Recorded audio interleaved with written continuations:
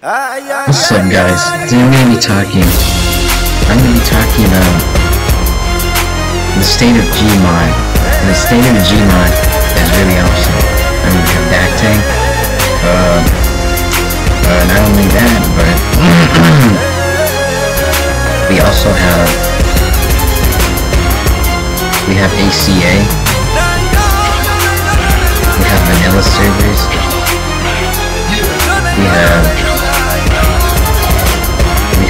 ACA. We have Backtang Proving Grounds. We have the Boneyard. We have um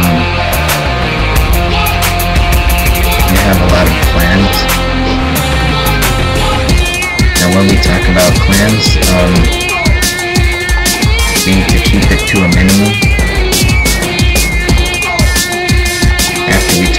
clans, we, we, we can discuss about tanks. After we do that, we can all play some Gmod together, so we can have fun.